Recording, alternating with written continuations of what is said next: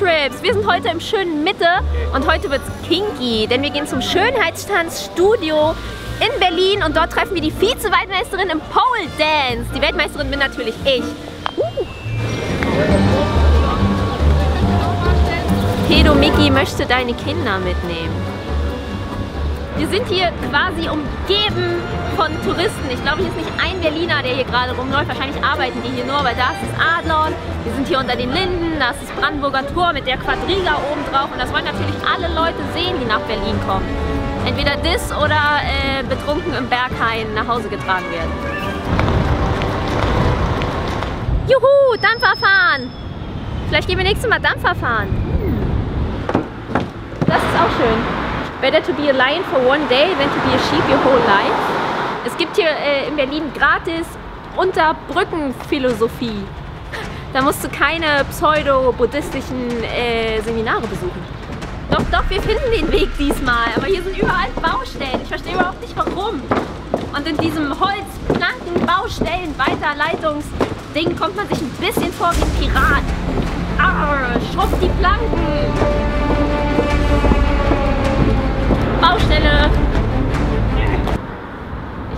Wir, wir lernen das ja gleich. Ja, danke schön. Hallo. Na?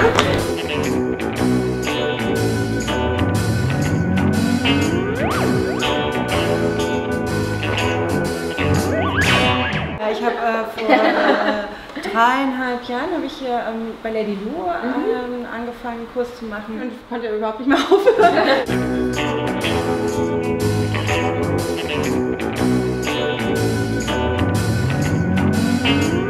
die Leute, die nicht wissen, was Burlesque ist, kannst du das mal kurz erklären? Ja, also ähm, Burlesque ist schon wirklich eine, das Zelebrieren des weiblichen, der weiblichen Erotik, ja. Und dann warum nicht mit ausziehen? Ne? Also dem weiblichen Körper dann Schicht für Schicht immer näher kommen, so ein bisschen. Das finde ich auch so, so schön an Burlesque, dass es halt nicht nur äh, total dünne, dem Schönheitsideal jetzt entsprechende Frauen gibt. Ne? Ja. Ne? Es ist ja egal, Ganz jede genau. kann. Jetzt, äh, jetzt wird's ernst, jetzt muss ich auch.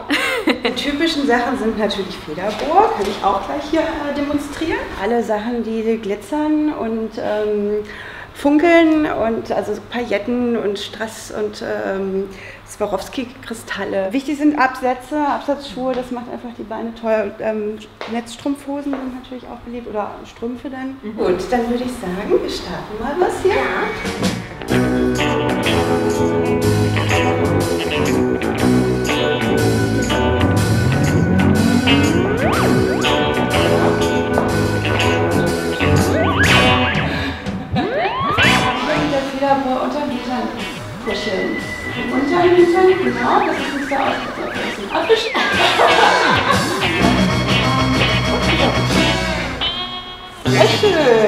Also es geht darum, dass man, dass man genießt, selber genießt. Und dieser Genuss, glaube ich, der springt dann über. Hauptsache wir fühlen uns gut und wir haben auch dann wiederum Spaß, wenn wir mit so einem Augenzwinkern merken, naja. Ist ja auch immer, ne, man lässt sich auch immer mit so ein bisschen Augenzwinkern ein bisschen das lustig. Das ist verletzt, so, auf jeden ne? Fall, ja. Jetzt wird es quasi noch ernster. Jetzt geht es nämlich runter in den Umkleideraum und jetzt werden Sportsachen angezogen und äh, Sport gemacht. Na, hier geht's schon los. Das macht mir ja jetzt schon Angst.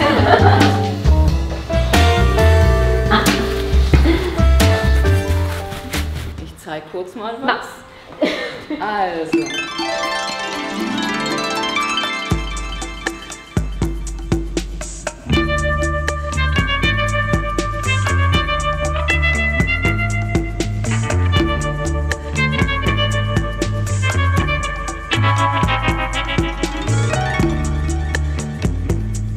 hier vor dreieinhalb Jahren angefangen. Seit anderthalb Jahren bin ich äh, Trainerin für die Fortgeschrittenen und für die Profis. Ja, es hat mich nicht mehr losgelassen. Und äh, ich bin deutsche Vizemeisterin im Pole Dance. Oh, du, du, warst richtig, ne? Du wolltest es wissen.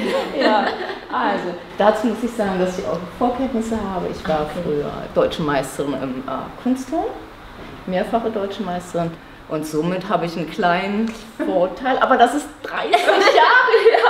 Also ich äh, habe auch wieder ganz von unten angefangen, meine ersten Stunden hier genommen. Hattest du am Anfang äh, denn mit Vorurteilen zu kämpfen, als du gesagt hast, ich fange jetzt die Pole Dance an?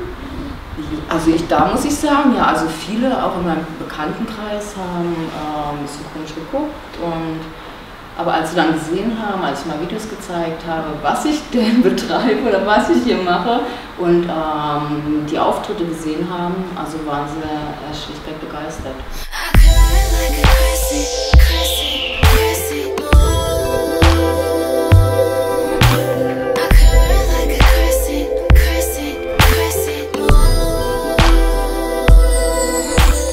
Fast Extremsport, also Leistungssport. Also es ne? Leistungssport. Also ich habe mich jetzt vorbereitet und es ist wirklich harte Arbeit. Ich trainiere jeden Tag. Mhm. Gebe hier natürlich auch Unterricht und ja, es ist körperlich eine Herausforderung.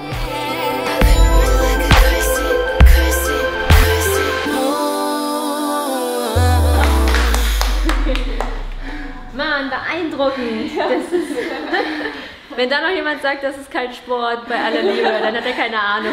Jetzt legen wir richtig los.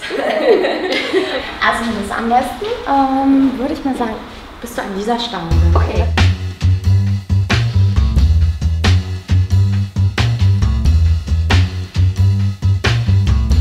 Wie lange gibt es euch jetzt? Wir haben den fünften Geburtstag gefeiert vor einem Monat. Das Ganze hat sich entwickelt. Wir waren die ersten in Berlin. Nordamerika ist ja Poland Studios, Burlesque Studios ähm, schon seit den 90er Jahren ähm, verbreitet. Mich hat es damals gewundert, äh, warum das noch nicht in Deutschland ist.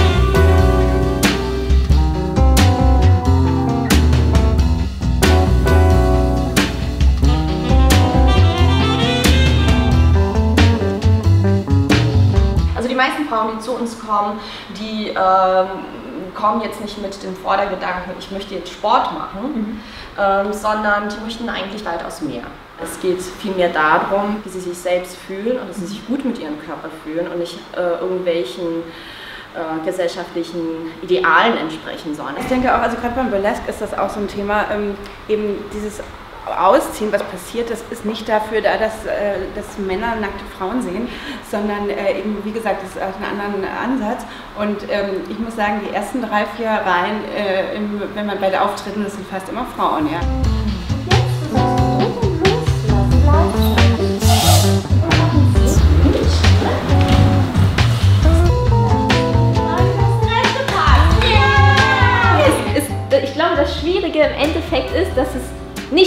Aussieht.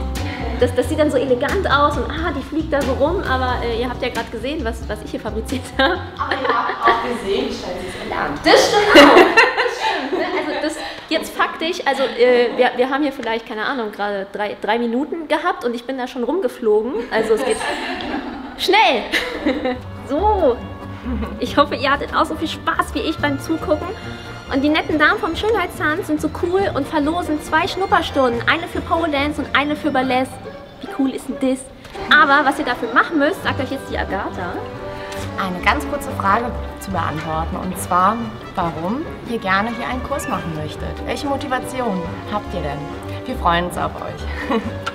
Da kann ich nicht viel zu sagen. Vergesst nicht, den Channel zu subscriben. Meine anderen Videos könnt ihr hier und hier sehen. Und wir sehen uns beim nächsten Mal.